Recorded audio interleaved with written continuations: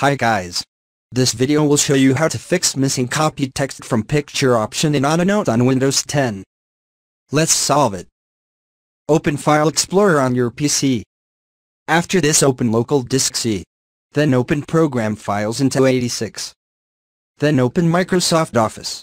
And then open the Office 16 folder. Find the Z file name OneNote here. Open it.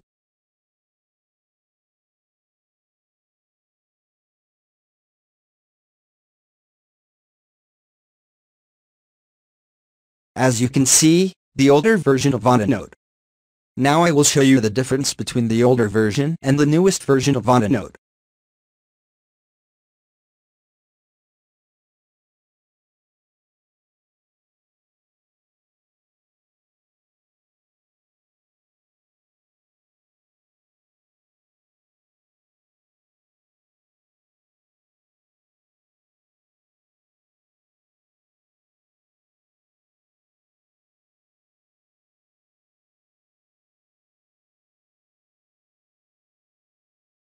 Now let's try to convert image to text.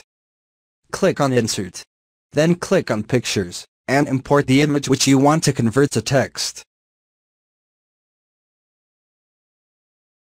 After right-click the image and click on Copy Text from Picture option.